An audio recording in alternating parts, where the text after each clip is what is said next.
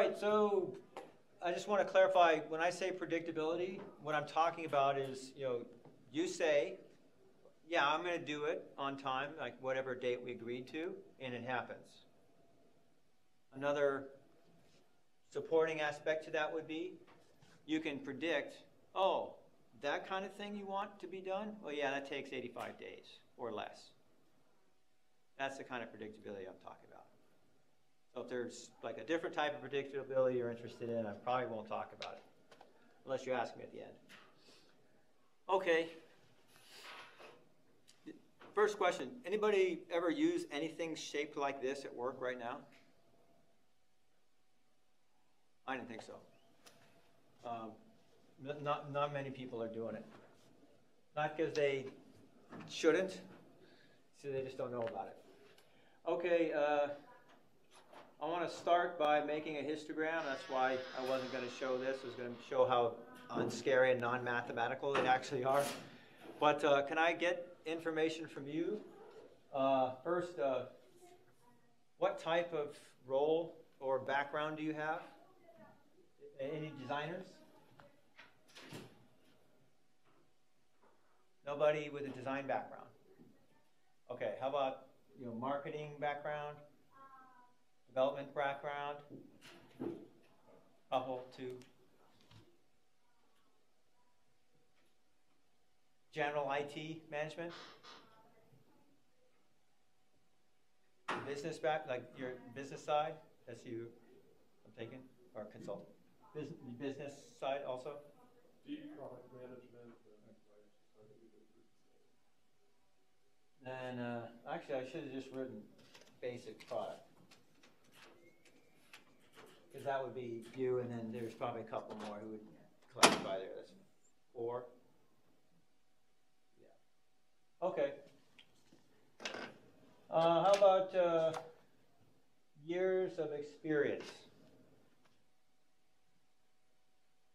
One year of experience? Two? Three? Four? Five? Six? Seven? Eight? Nine? Ten? Eleven? Which one? Eleven?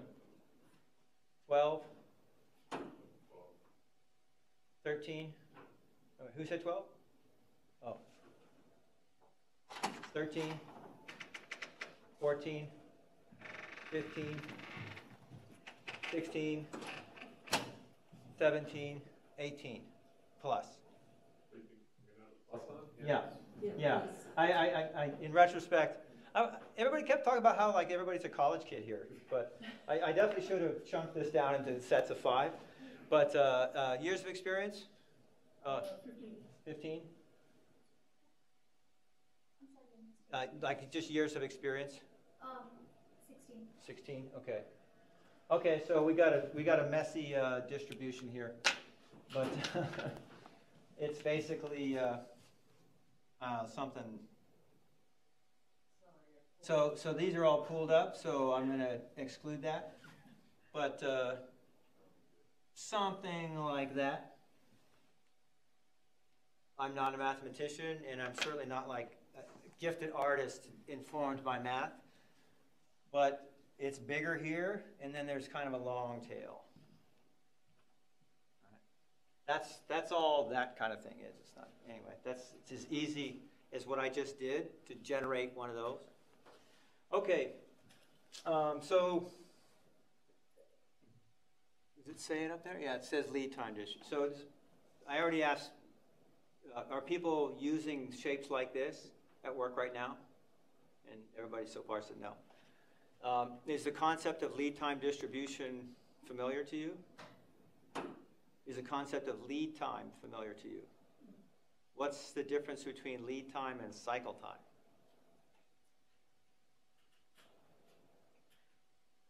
It is a trick question because it's actually debated by like experts. So I, I don't think it matters, it's terms. It probably matters to the organization you're working in. Just make sure you're, you're using the same words that they're using. So lead time is need to give heads up, like, that's what I'm getting to know before.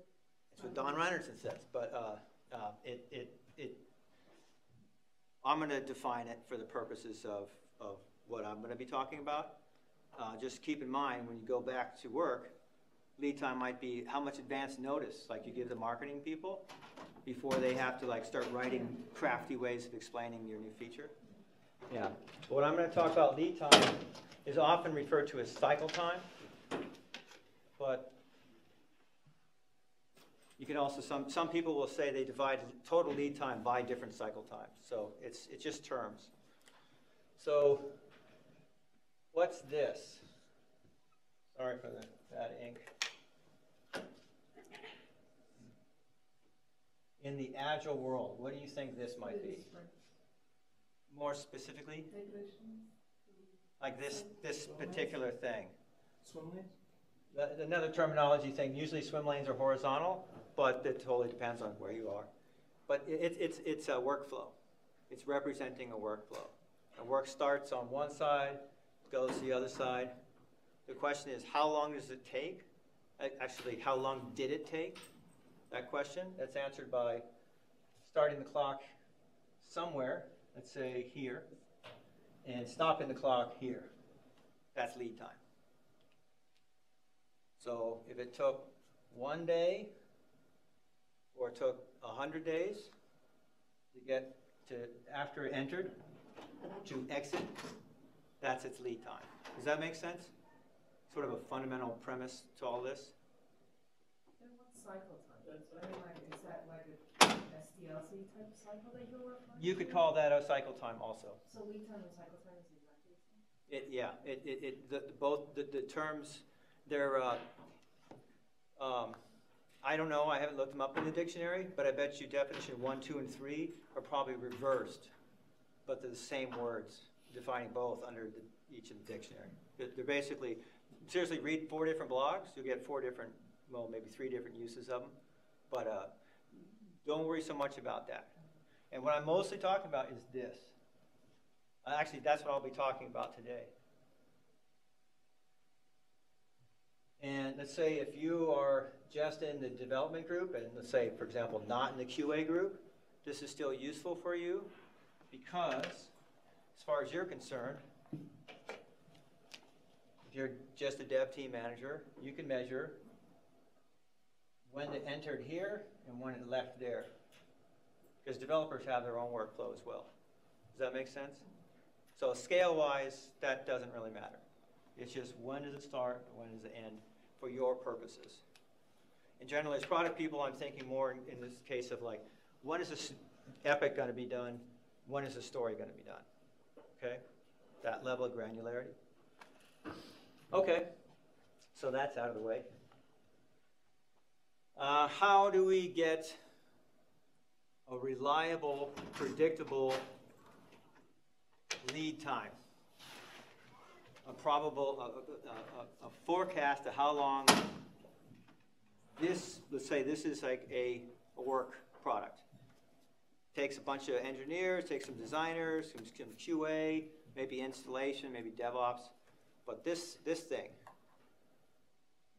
senior manager or customer saying, I want one of these. When can you have this done? That one.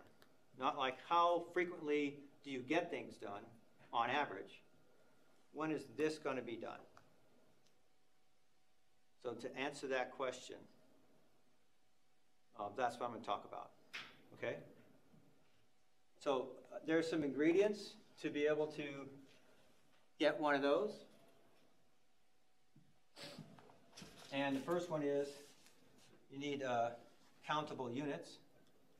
So each one of you is an individual person. Uh, that gets plotted into this uh, distribution. It gets put on the charts. I put a dot on the chart. That's what I mean. Uh, for every work item, you need to have something that you can count.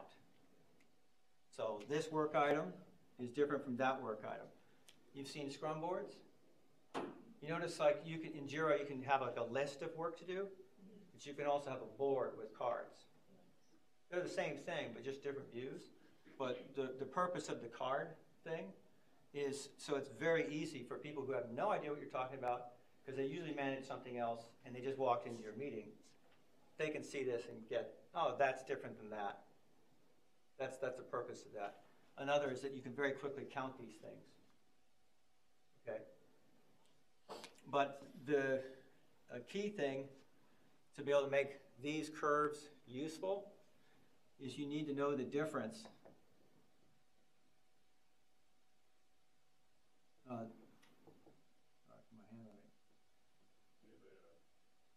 Better pen, yeah.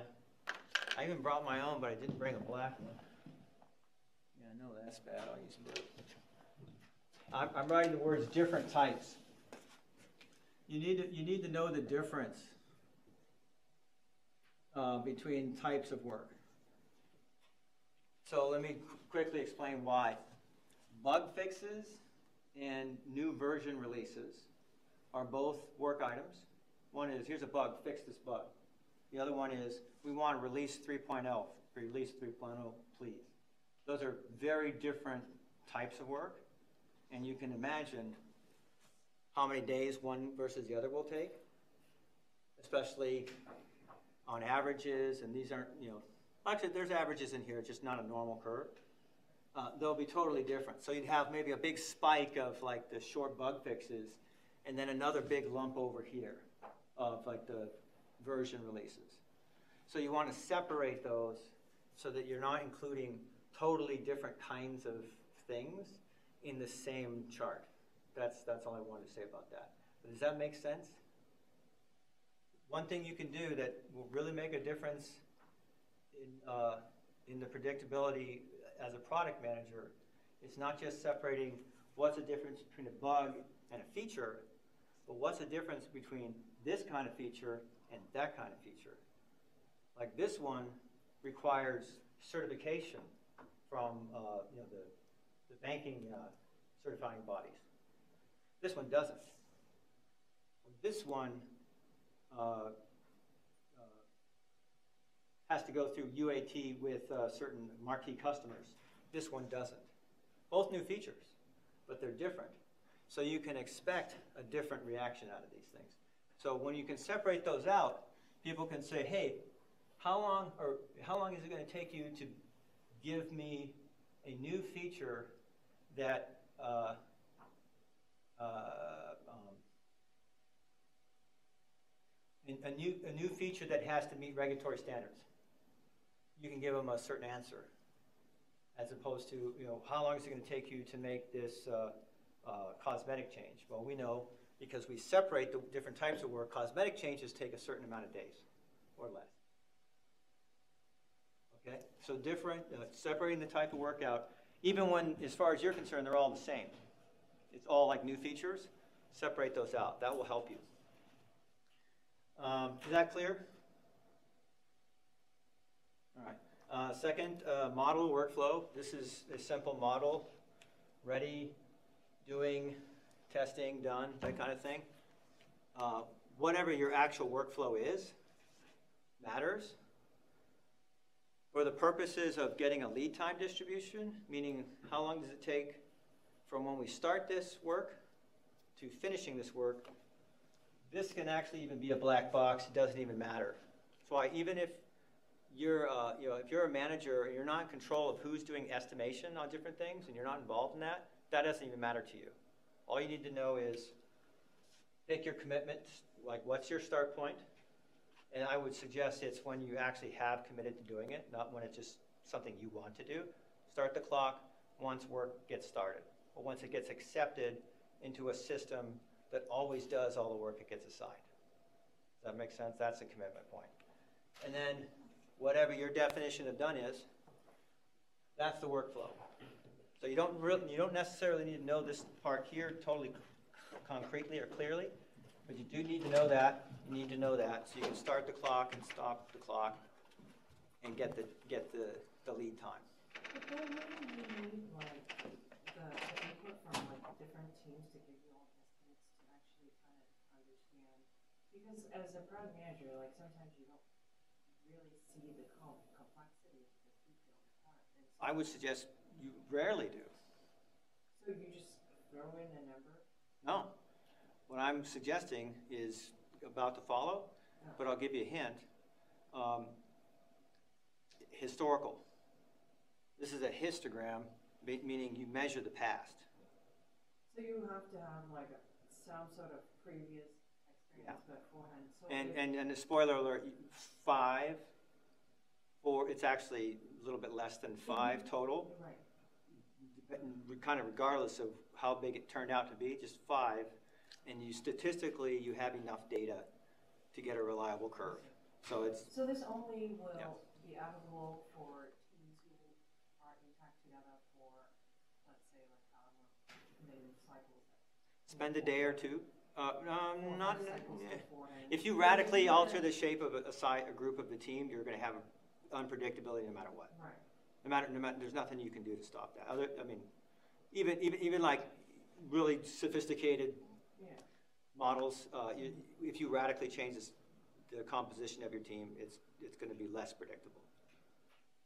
Uh, But in, I, I- I'm, I'm, I'm, I'm starting to, I don't wanna get into the answer question mode yet, but, um, the, uh, the reason why, well, well, yeah, uh, this is an alternative to looking at the work and inspecting it, trying to evaluate what's involved in this work and how long do we think this is gonna take. It's, it's actually just regardless of any of that. So maybe that's happening, and your company pays for it, and you have a company policy where that has to happen, fine. Regardless of that, you can still do this, and you don't need permission. You, you can do this. Um, okay, uh, what was about to talk about? Yeah, modeling the workflow, commitment points. Uh, yeah, simple, measure how many days.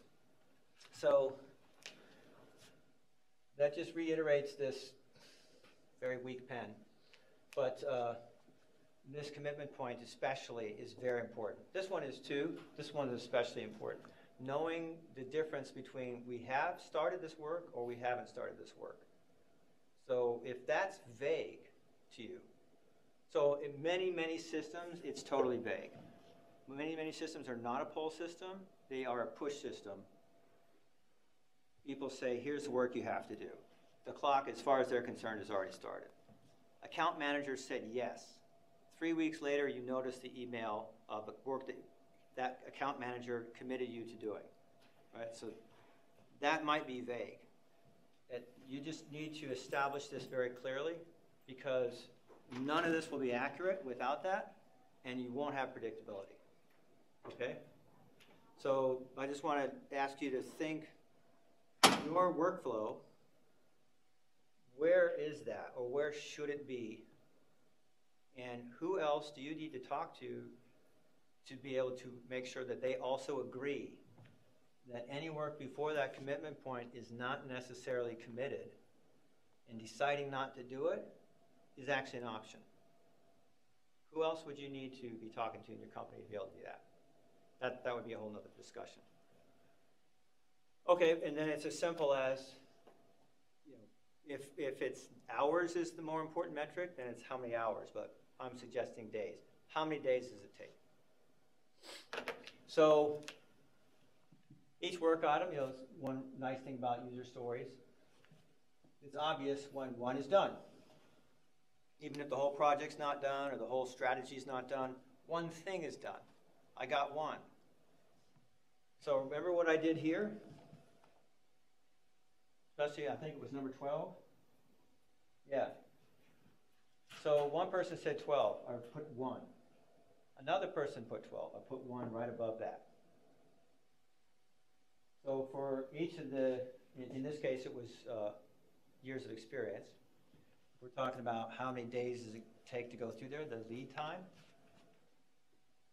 We just had, we, let's say we finished a work item, took us four days.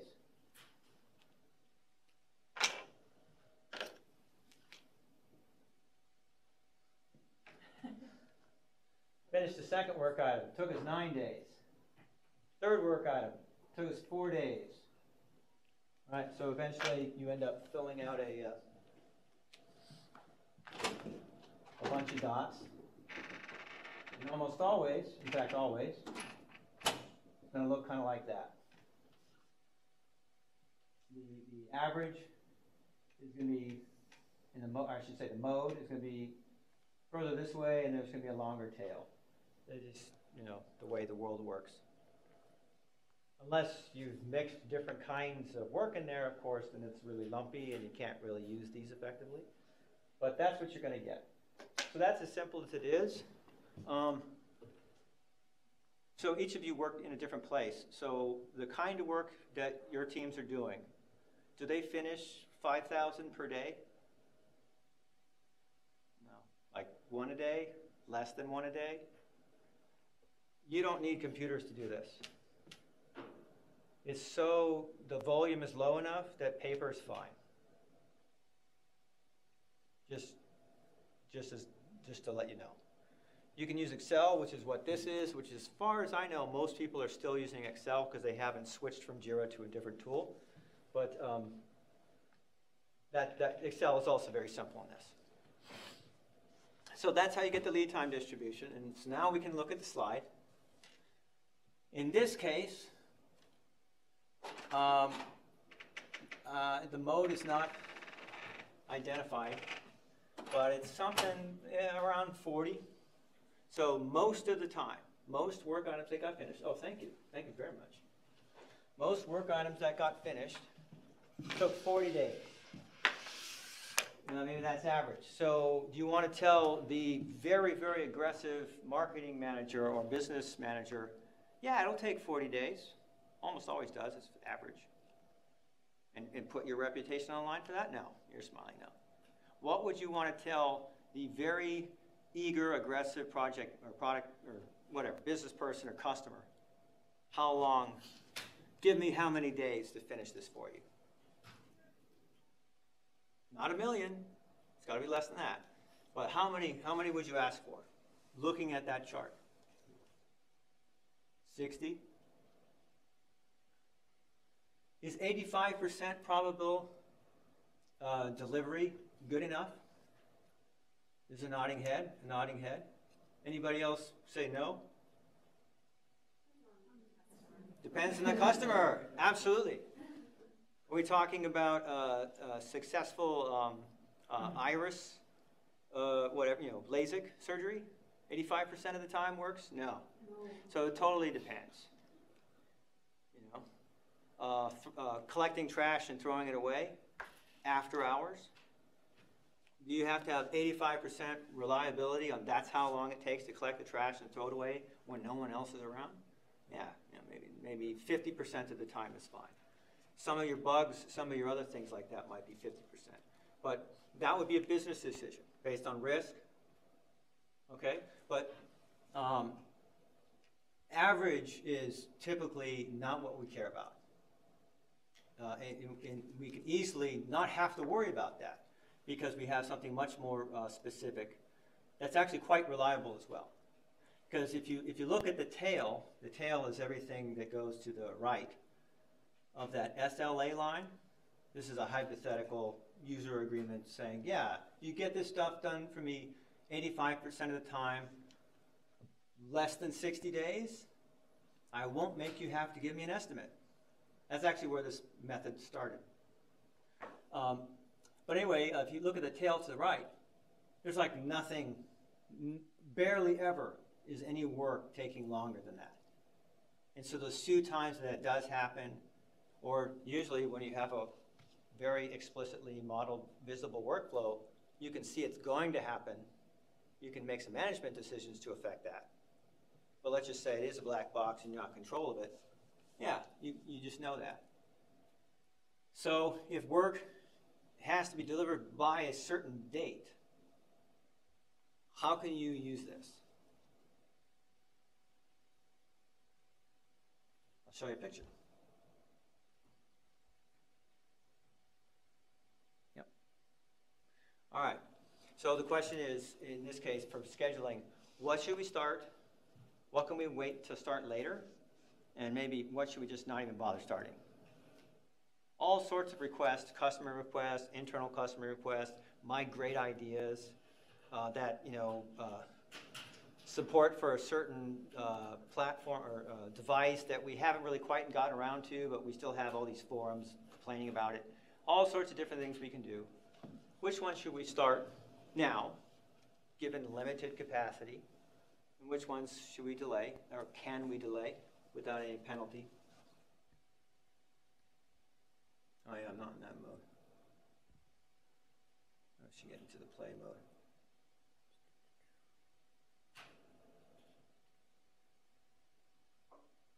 Hmm. So I'm trying to get there. Yeah. There it is.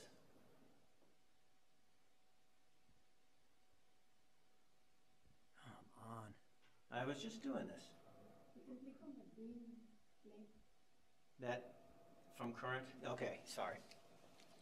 The from current was a new word.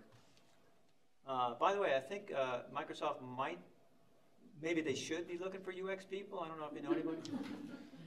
um, I, I usually use Apple, so that's my problem. Uh, but uh, okay, so uh, the thing is, we, we want it done by January 10th, whatever it happens to be. And what you see that, that curve, that's a cost of delay. So if it's done January 11th or 10 at noon, it's not that big of an impact. The 12th, 15th, 20th, 30th, we start to lose a little bit. Maybe there's a fine, well, it'd be a different shape, but uh, you know, maybe somebody else has a product that our customers will shift to. Like Tim Cook gets on stage and says, This is going to be great, you're going to love it.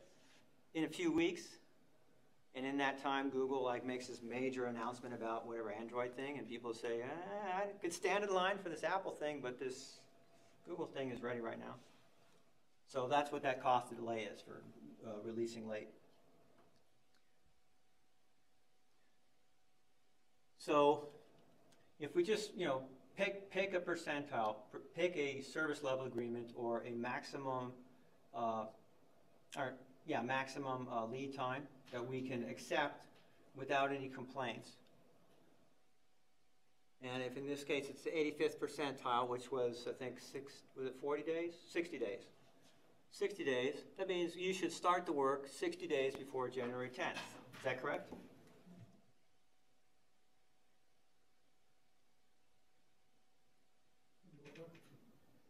Is was that? Yeah.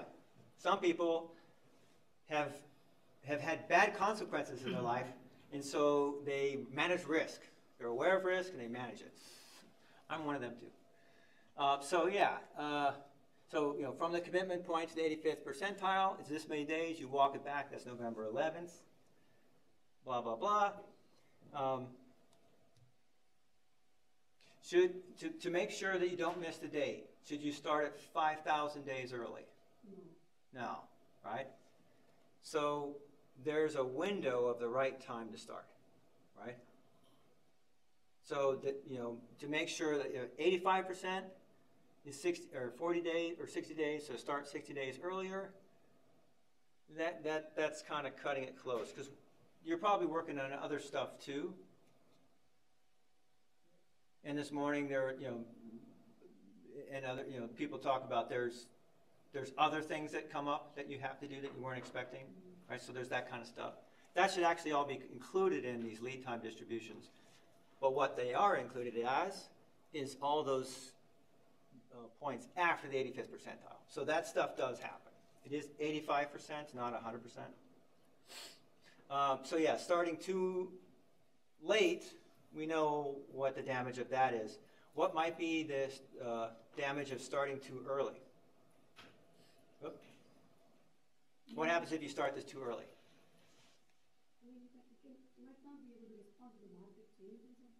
Yeah. Uh, yeah, you have a uh, something that looks like a 2015 model on the car lot in 2018. That that that that would be a concrete way of describing it. Market has already changed its mind, but you planned and started too early. Another is uh, um, the cost of carry. Uh, so, for example, uh, let's say there's a ship date or like, a, um, it- maybe this is a sale campaign for Easter weekend at a hotel, like hotel chain. Uh, if you start selling, if you prepare and do all the work to, to get that sales campaign done uh, before um, Christmas of the previous year, it means you've made that, all that investment, and there's many months before you get any return on that. So that, that's actually a loss of money, financially speaking. So starting too early, it creates an inventory. Uh, even though it's done, done, right? Uh, yeah, those are two, two main things. Can somebody think of another reason why not to start something too early?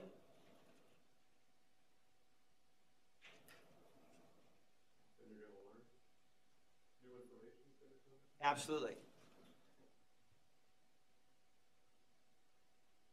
Uh, market changes, but then there's other, other kind of learning, like, uh, even internally. So for example, uh, um, uh, department in your company does something to the platform that's not part of your product team. It's like, oh, wow, you know, we could do this in half the time now because, of what they've just done. Or, um, if you're talking about it, but you haven't started it yet, maybe one of these people in a meeting hears, "Oh, you're thinking about doing that? Oh, shoot, we you know we were going to do this infrastructure project, but we decided to delay it. But maybe we should do it because that will help your your feature."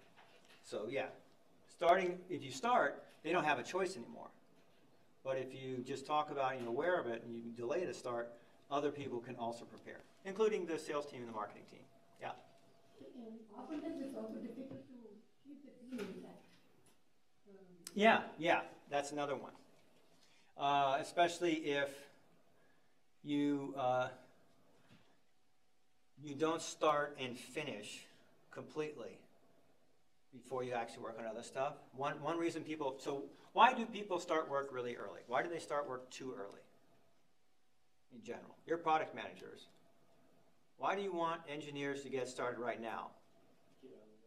Get out of the way. Why? something else is coming up. So if they're still dilly dallying on that old stuff, then the new stuff comes in. It's like ah, so that's a problem. Uh, you know, can you rely on them? Would you have them go to the 85th percentile, like right on the margin, or no? You want a buffer. That's that's another issue.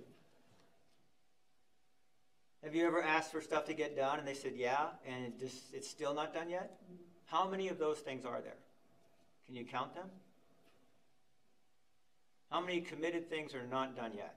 That definitely don't take, what is it, like 100 days, 500 days? Literally 500 days? That still aren't done yet. So that's, those are very good reasons to, uh, well, very good reasons to start as early as possible. So one of the reasons to get predictability is so you can stop doing that. And then uh, not having 60 work items all in the backlog of these dev teams simultaneously with managers interrupting them, asking, stop working, listen to me, because I want to ask you, when is this going to be done? Yeah, that's, that's a typical scenario. Okay, uh, so yeah, th- so there are some good reasons not to start too early. Obviously, we know why not to start too late. Uh, and I don't want to get into dependencies. But I think that's that. Yeah. Just just to uh, close, that's um, that's the content. Uh, No, I want to go to the the distribution against the the start date. Where's that? one? Sorry. Okay. So questions? No, no, how did you arrive at the optimal start date? Oh, how do we arrive at the optimal start date? Can somebody explain it? Knowing, knowing this, like knowing that specific information, 60 days is 85 percentile. And if you, if you look it up on the calendar, November 11th is 60 days earlier. Knowing that, how, how would you arrive at the, uh, what criteria or what considerations would you use to arrive at the optimal start date? Would be a question back to you. I mean, the manager is buffer, but what is the threshold or what is that? What, um, Yeah, what considerations might there be? Let's make a list. Which would basically be the list you could use every single time from now on when you're thinking, what would, what could be, or what should be the optimal start date? These considerations. Because that's, uh, there isn't, there isn't one. It's, it's always context dependent. And, uh, that would be a manager's job. And a manager that can do that is gonna, he has to do it more and become an important manager. But, uh, uh, I'm gonna say optimal start range. There might be a date, but I think in reality, if you do all the math, and you look at all this math stuff, you see these sort of curves that are like, um, they're, I can't really even explain that, but it, but basically, it's, th- there's a dip in the cost of delay. So like too early, it's not a delay, it's, it's a, it's a cost of carry, and then too late, is a cost of delay. And somewhere in there, there, you, you, you have an optimal trough of like a certain amount of time. It's not like one specific day.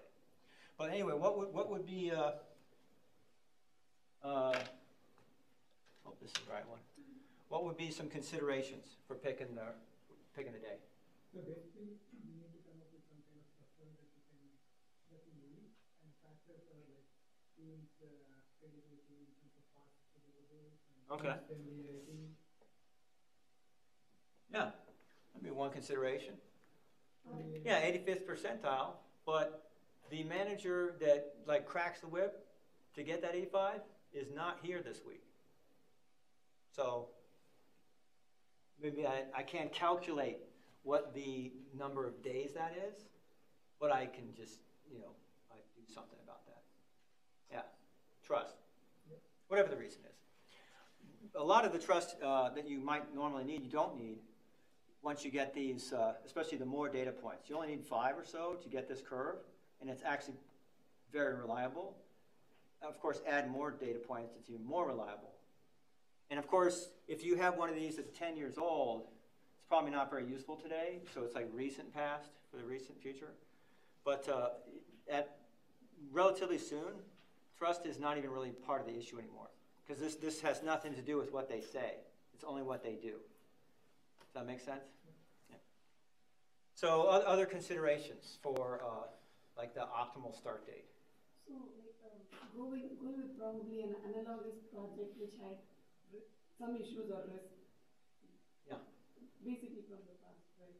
Uh-huh. Trying to see what other risks can be this, and what would be the time take to get into fix that.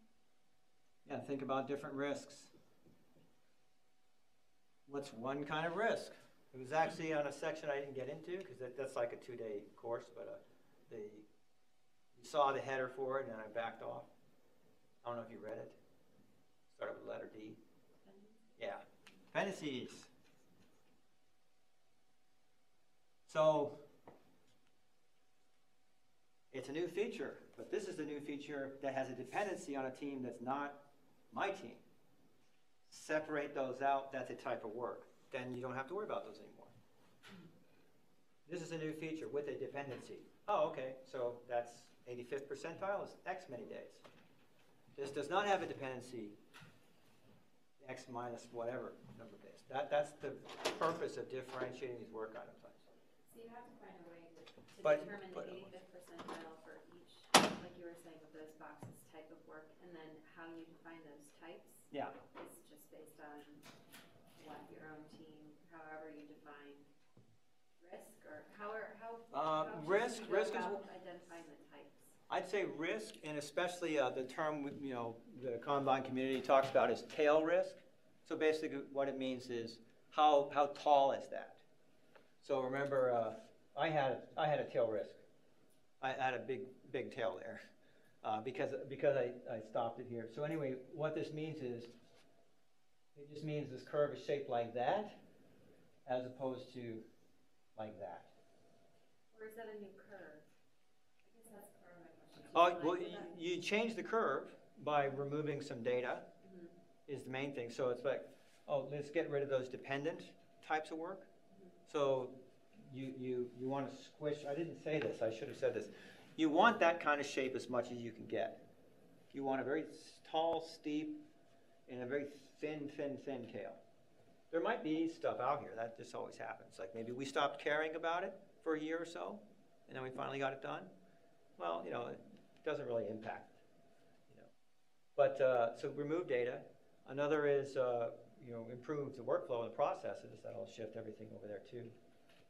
But, uh, so about the, the risk, and I mentioned in tail risk, the reason I did that is, um, uh, well, what will cause the risk is one thing, but, but what is the impact of the risk? Which in most, mostly what we're looking at is just delay. And that's why we call it tail risk. So there might be like financial risk or like reputation risk or legal risk, you know, like non-compliant. But we're, what we're, we're focusing on is like, when is this gonna be done? So it's the risk of having this thing take longer than sixty days. When we're promising sixty or less, not sixty, we're promising sixty or less, by the way. If it takes more than that, what's the risk of that happening?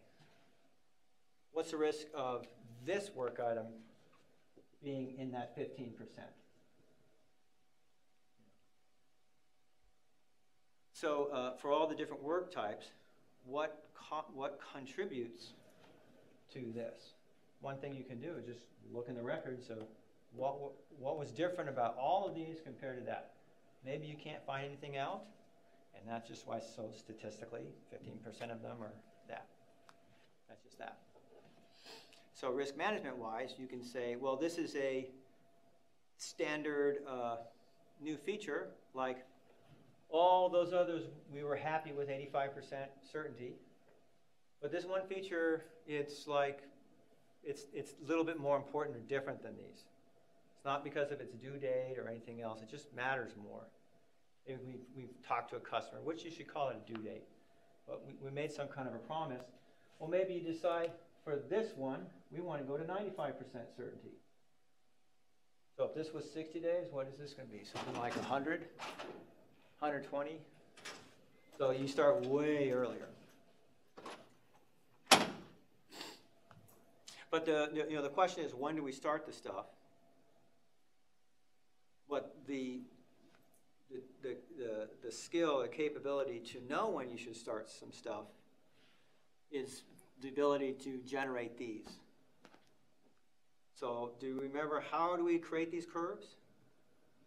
What's the first, what's one input we need to be able to make one of these curves? Start date, yeah. Yeah. Or you said something started? Oh, something. Yeah, start. so, yeah, you need a thing. You need a thing and, and, and, and, and starting it. And then anything else? Or there is more? Yeah, finish date. So you need a thing, a start date, and a finish date. And then what do you do with that information? So you can imagine that's a, a row, thing, column one, start date, column two, finish date. And if you have ever made one of these kind of curves or charts in Excel, just do that. Time and number. Actually, it's, uh, if, to, to actually do it in Excel, there's one more column, which is like total, total lead time. But that's it. Does that make sense? So this is, let me tell you a story how this was first used by the people who taught me. Is uh, these? This was a the, like the best project team in uh, I forget uh, Pune. Not it's not Pune, but somewhere in India. Best best like CMMI level five team. Microsoft was like having problems with their internal tools and maintenance and support of those. So they're like, uh, let's outsource this stuff because first of all, they're taking forever and they're expensive. So we might as well have it be cheaper, taking forever. Work took forever. 105 days average lead time for a like a change request. After lots of analysis, they found out some of these change requests are adding a comment to a page. Some of these change requests are changing a photo on a facilities management page.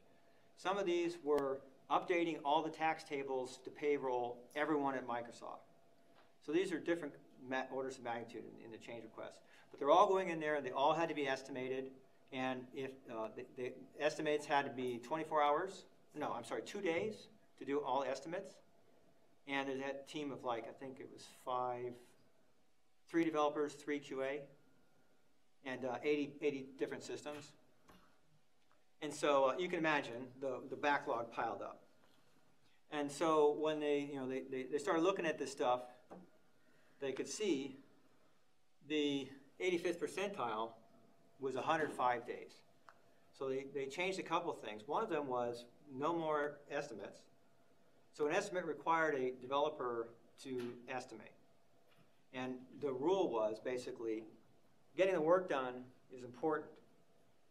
The service level agreement is estimates have to be done in two days, and they have to be highly accurate. You know what highly accurate estimates means, they had to be highly accurate. So you can imagine if you're trying to like get countless amounts of change requests done on 80 different systems with two partners, and randomly people say, here's two days of dedicated work you have to do, interrupting you constantly. And I think it was less than half of the work that they did estimate got approved to be done. Because there's all sorts of reasons. A lot of it is because it would take too long, based on a policy of how long like a project should take a budgeting. Other cases, it, it's just, they just were curious. They weren't committed to having it done. So by taking this and this, this 85 thing, they, by, by looking at some of the historical information, primarily the times where they weren't interrupted and they could just do a start to finish, plus separating the different kinds of work out, comma changes from like tax table updates. They were able to go, so the, this manager of this group could go back to the business owners and say, hey, how about I make you an offer? You no longer ask us to estimate stuff, and we can guarantee 30 days or less for any request. And so you can imagine an average of 105 days is how long it usually took to finish the work, which, based on the shapes of these curves, some of the stuff was like 500 days, 600 days, 1,000 days, or never done. So to go from that, and who knows, is it going to be two days? Is it going to be 105 days? I don't know. To go from that from guaranteed 30 days or less, do you think the managers were like, yeah, sure, stop estimating? Or were they like, no, no, I want you to estimate, and I don't care if it's an unknown number, um, unknown amount of time beyond 30 days. I don't care about that. You, which do you think happened? That was obviously a dumb question, but so uh, this is a alternative way to estimate. It's not like it's not estimated. It's, prob it's probabilistic forecasting.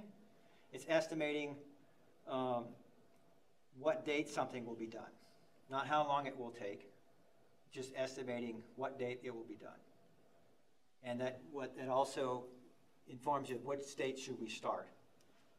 But like how big it is or how much effort it's going to take, you don't get any of that. So any benefits you get from an estimation process, you're not going to get from this. And I would also suggest that the people who do estimation don't necessarily even need to be involved in this. So you might be estimating stories, and as a product manager or a business group, you might just do this for epics or uh, you know uh, feature requests from customers. So, for example, a, a table of types of work and a little bit of training for the account managers. So when Bank of America calls Visa and says, "Yeah, I want you to do this with the thing," they can go, "What? This kind of work? Yeah, it'll should take this much time, or we'll bill you this much money. What do you think?" That, that's what this can do for you. So another trick would be identifying the types of work. Yes. How, and how you qualify Yeah. something to be in that type. Thanks for bringing that up. I uh, forgot to hammer that point home. Uh, This is, uh, it- it's just something that, that I've, I've started to really realize more and more, that um,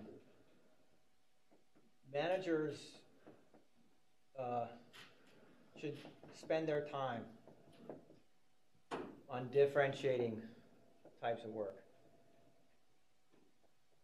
including periodically reviewing, studying the tail, studying the difference between this half and this half, uh, and just paying like, are these similar can we group them together to simplify all of our management overhead?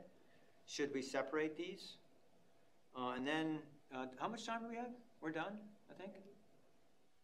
Yeah, because, uh, um, I, I can't, I can't introduce the topic, but I'll, I'll label it, class of service is a, a, a tool that helps you, say, given a type of work, you can separate it by class of service. So, for example, type of work, flying you from San Francisco to Seattle. First class, economy, standby, and, and the classes of service are, they operate very similar to that. So, um, what are these, what should the classes be? What should the policies be about those classes? Basically, how do you treat the work? And what are the different kinds of work? And really focusing on that kind of stuff. So, you know, let, let, let developers allocate their resources the way they need to, based on the estimation, based on their assessment of the skills, the, the, the, the average throughput of teams. But for answering questions like, when can you give me this? Uh, I, I'd apply this, and you can do that totally independent from any estimation process. Okay?